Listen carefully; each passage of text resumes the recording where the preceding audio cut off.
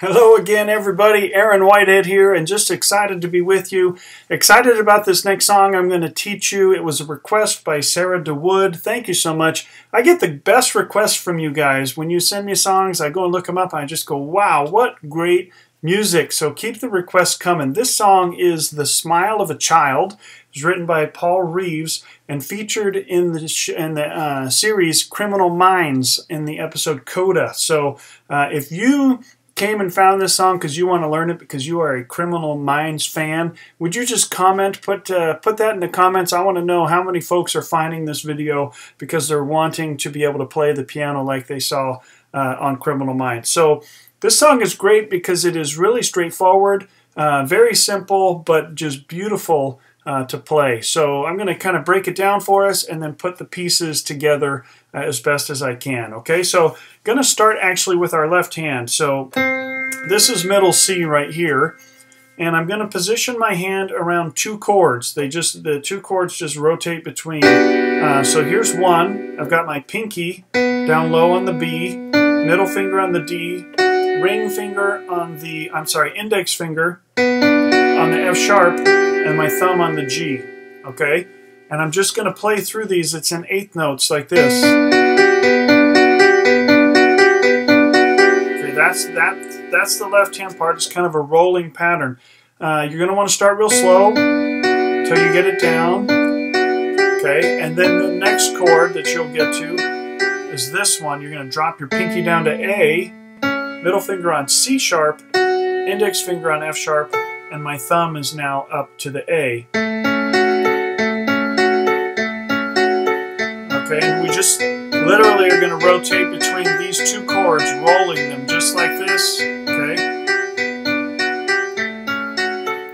Those are the only two chords for the whole song. We're just rolling through one to the other. You do each one four times.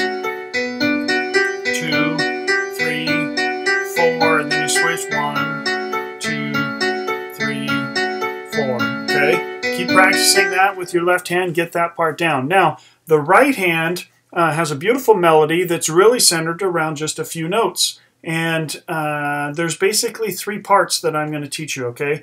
So the first part goes like this. Starts on B. Now, where we're going to anchor our hand, my thumb is going to be on this B, okay, the B above middle C. My pinky is up here at this B uh, an octave higher.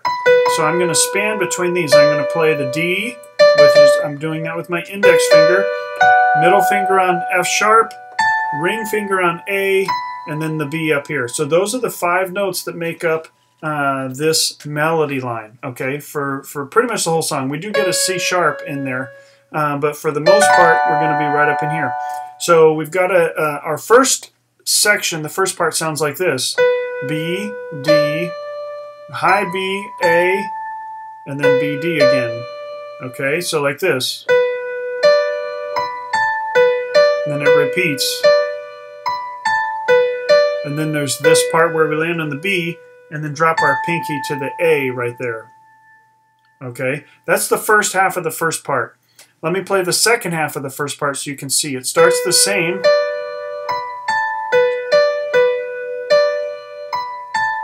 But here we go, I bring my thumb up to this C sharp, and then I go to the A.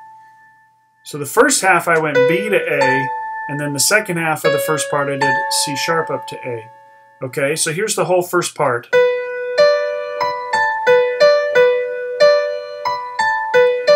First half, okay, sit on the A, and then starts the same.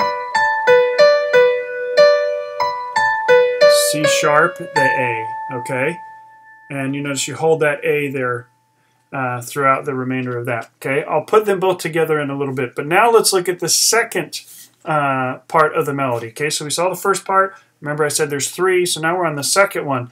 Uh, the second one, we actually start up high, okay, come down, and then, okay, so we're going B, A, B, D, B, D, B, A, B, D, B, D, and then we go F sharp, A, okay, that's the ending of the, uh, of the, so the, again, the second part has two parts, so the first part of the second part ends like that, where it goes F sharp A.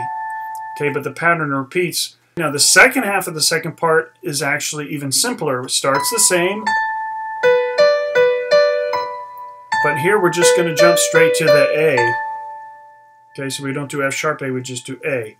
Okay, now the last part is the trickiest one. The third one is the trickiest one because the rhythm is very unique. Okay, it's a little tricky to get if you, but uh, if you don't overcomplicate it, it's actually simpler that if you just think of it in groups of two. Okay, so you go B, D, and then B, A. Okay, so those are the two groups. It's B, D,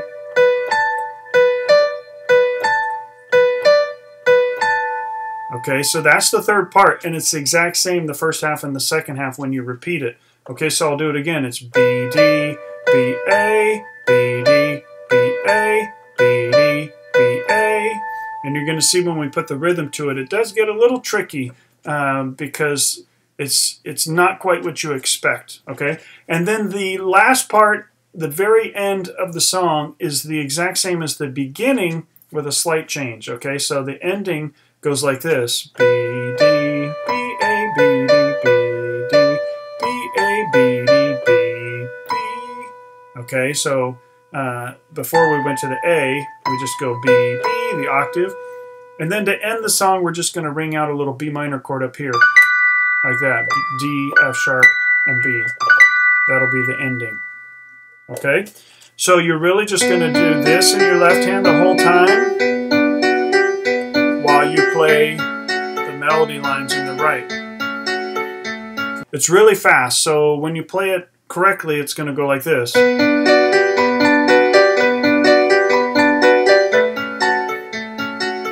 but let's start really slow and build ourselves into it. So like this.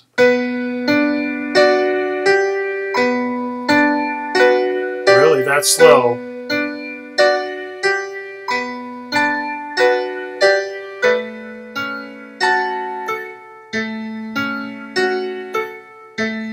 About half the tempo I would go when I get it up to full speed.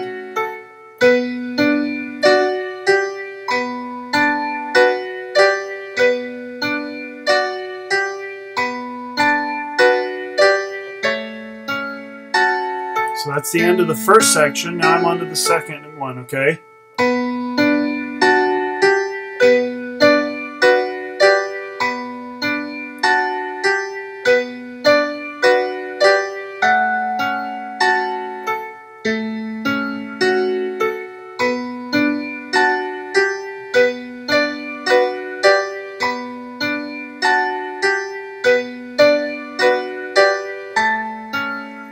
Second. That's the end of the second one. Now the third one.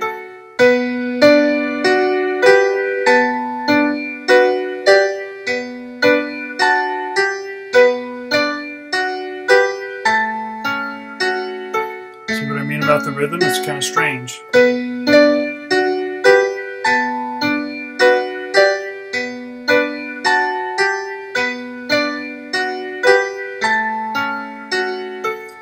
The ending.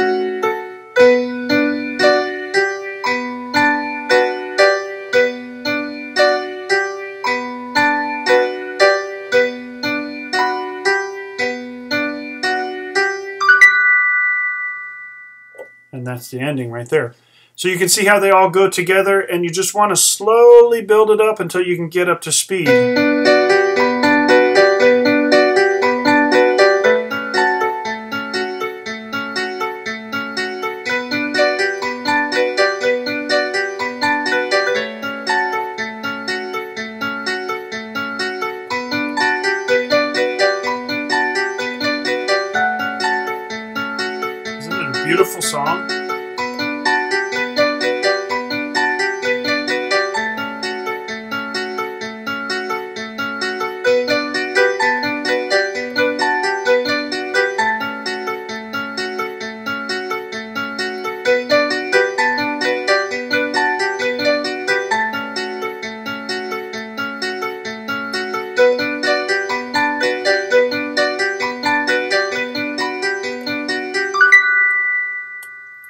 And you're going to want to play with it, slow it down, use the sustain pedal, really make it sound great. This is a keyboard. It would sound way better if it was on an actual acoustic piano, but hope you guys enjoyed that. Thank you again so much for the suggestion, Saarah Dawood. Keep them coming, and, and let me know in the comments uh, if you got to this because you are a fan of Criminal Minds. Thank you so much for watching. God bless you guys, and we'll see you next time.